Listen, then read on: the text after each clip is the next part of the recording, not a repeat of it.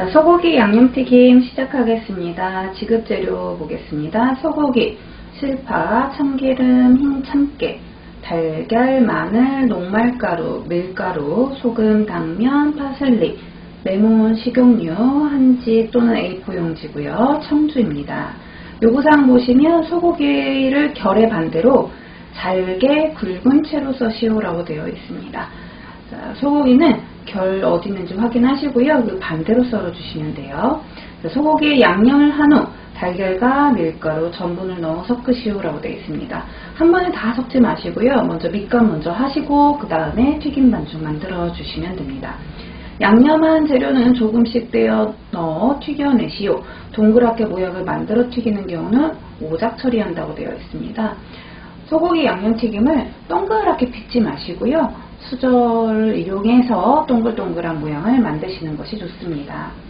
자, 먼저 항상 파슬리나 깻잎 또는 청차조기잎이 나온다면 어, 찬물에 이렇게 담가 놓으시고요. 고기는 키친타올 싸 놓으시고 그 다음에 당면, 김 이렇게 물에 젖으면 안 되는 재료들은 비닐봉지나 다른 곳에 보관하시면 되겠습니다. 자, 야채부터 썰겠습니다. 자, 마늘은 다질게요.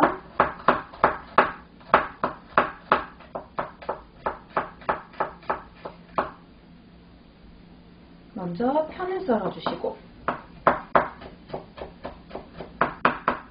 새를 썰어주시고요.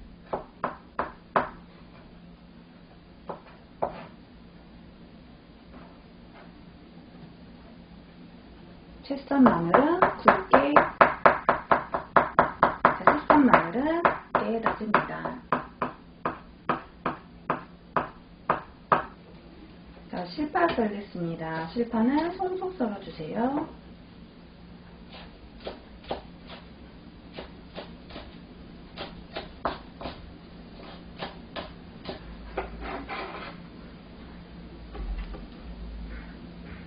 자, 레몬입니다. 레몬은 씨 있으면 씨 제거하시고 막 제거해 주시고 가장자리 정리해서 놔둡니다. 자, 이제 소고기 썰겠습니다. 저는 소고기 결이 이 방향입니다. 그럼 이렇게 썰어, 썰어야 부드럽게 먹을 수 있습니다. 그래서 결 반대로 썰겠습니다. 고기가 두꺼우면 포를 뜨시거나 편을 썰어서 사용하시면 됩니다.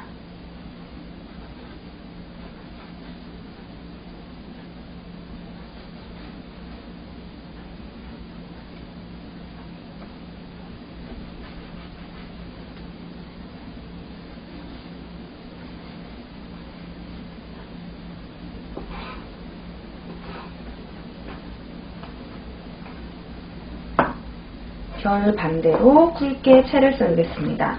정해진 사이즈는 없습니다만 지나치게 굵지 않도록 0.5cm 이하로 썰어주시고요. 길이가 너무 길면 동그란 모양 만들 때 좀 힘듭니다. 어, 그래서 한 4cm 정도 길이를 썰어주시면 괜찮습니다. 또는 그 이하도 괜찮습니다.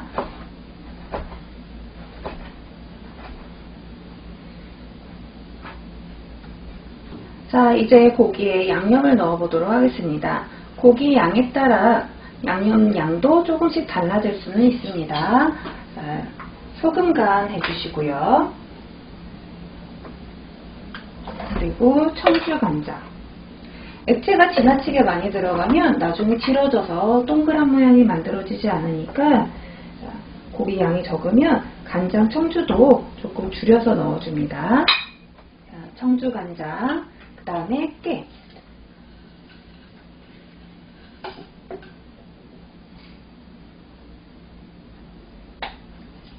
참기름. 다 한 작은 술이나 그 이하로 넣고 있습니다. 그 다음에 마늘과 실파입니다.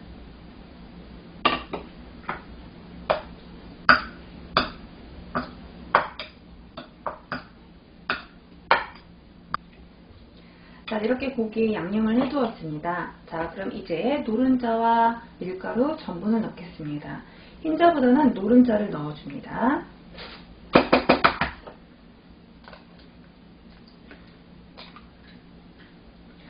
고기 양이 좀 적은 경우에는 노른자도 반 개만 사용해 주시고요. 고기가 넉넉하다면 계란 노른자 다 넣어주셔도 좋습니다.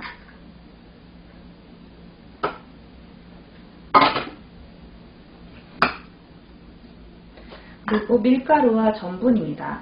양은 거의 비슷하게 들어가는데 전분은 좀 더 색깔이 하얗고 포드득하며 밀가루는 누렇고 부드럽습니다. 같이 넣겠습니다. 한 큰술씩 저는 넣었습니다.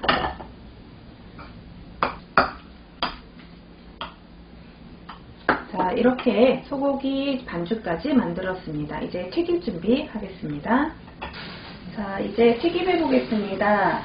어, 당면 먼저 튀기시고요. 소고기를 튀기는 것이 기름을 깨끗하게 쓸 수 있습니다. 온도 체크는 젓가락으로 해보셔도 되고요. 당면을 조금 떼어서 안에 넣어보시면 됩니다. 그럼 당면이 위로 올라오면서 이렇게 하얗게 부풀어 오릅니다.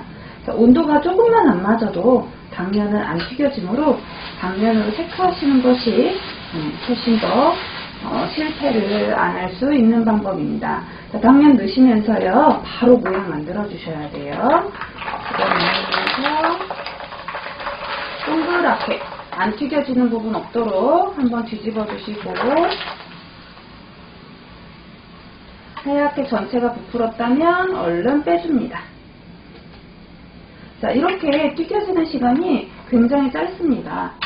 자, 그래서 조금만 시간이 지나도 색깔이 갈색으로 변한다거나 아니 온도가 낮으면 전혀 튀겨지지 않고 어, 부피감도 없어집니다.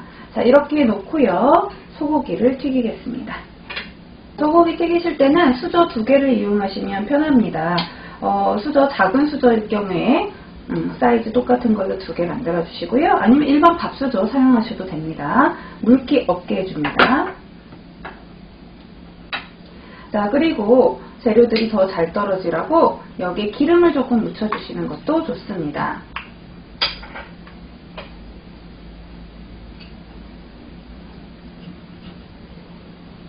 소고기는 이렇게 동그랗게 모양을 만들어서 안에 살짝 밀어 넣어줍니다.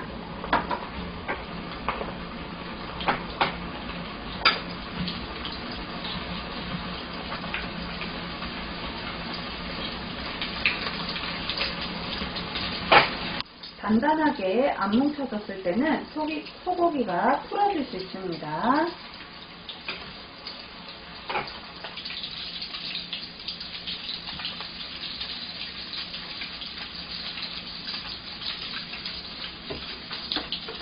튀겨진 소고기 양념튀김은 해주시기 바랍니다. 다음은 튀김에 들어가는 종이접기입니다. 한지 또는 A4 용지가 지급이 되는데요. 간단하게는 다음과 같이 직각으로 접어서 산 모양으로 만드실 수 있습니다. A4 용지 위에 당면 담아주시고요.